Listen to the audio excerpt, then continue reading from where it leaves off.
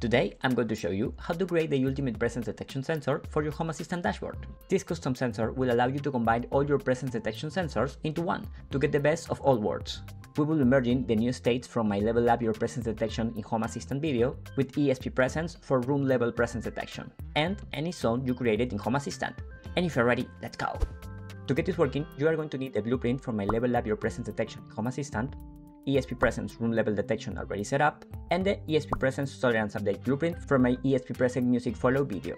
I know that this sounds like a lot of work, but you can visit the tutorial that you want to set up, click on the content of the video that you need on the left bar, and this will take you directly to the part of the video that you need. After you have all of that configured, just go to sensor template, and here we just need to copy and paste this code into our configuration YAML file.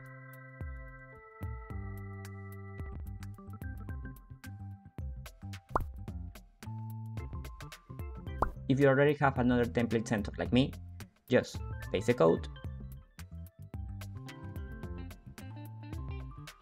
and erase the first three lines. First, we need to update the name of the sensor. Then, we need to change the person or the device tracker that we want to use.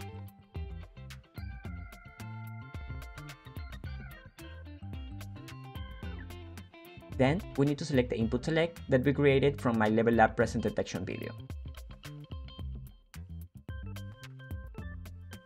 Then, we need to select the input select that we created for my ESPresense tolerance update blueprint. What this is going to do is, since false positives are not a thing for ESPresense, every time that the ESPresense value is different than away, we are going to use this sensor. And because false negatives are a thing for ESPresense, if the ESPresense sensor detects a person as away, it will fall back to the person or device tracker entity. This will take care of the false negatives and also give support for any zone that you configure in your Home Assistant. And the first condition will give support for the just arrived, just left, away, and extended away states from my Level Up Your Presence Detection video, giving you the best of all worlds. And for the entity picture, you just need to upload an image to the www folder. For this, just click here, scroll down, open the folder, click upload, click file, and select the image that you want. And then just click OK. Then you just need to update the name here. Keep the first part intact, just update the name. And then just give it a name. Now click on save. And we are going to restart Home Assistant. For this go to Developer Tools, click on restart, and restart. After it's finished, just click on States and look for the sensor that we just created.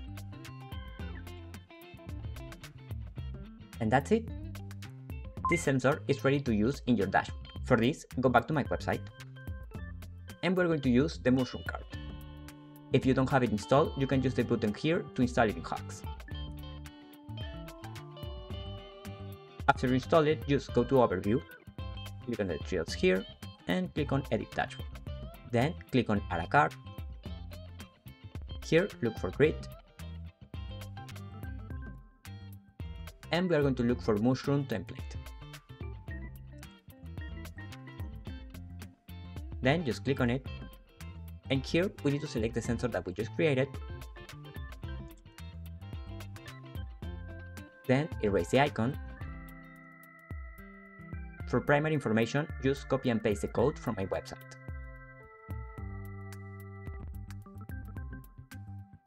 And here update the name of the sensor. Now for secondary information, do the same. And update the sensor name.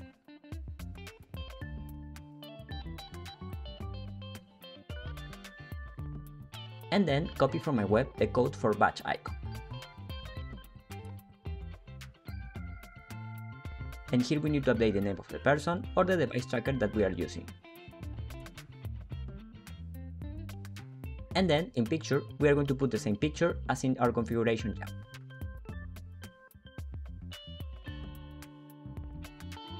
Then scroll down and select multi-line secondary.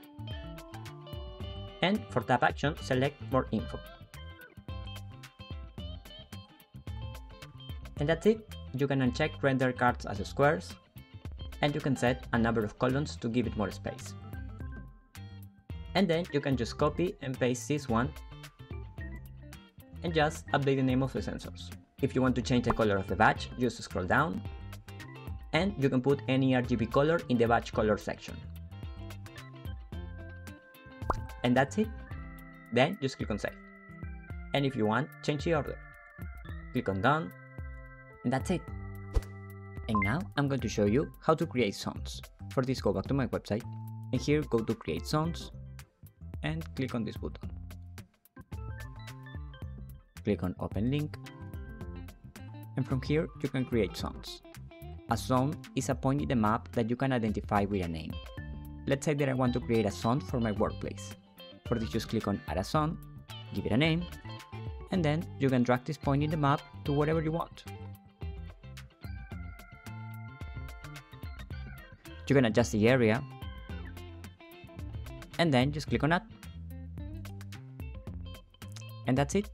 From now on, every time that Home Assistant detects that you are here, it will set your state as work. If you like my dashboard, you can watch this video to get started. And if you like my work, please consider supporting me on Ko-fi using the button on my website or the link in the description. Either way, I will be eternally thankful. And don't forget to subscribe for more content like this. I'll see you on the next video. Bye!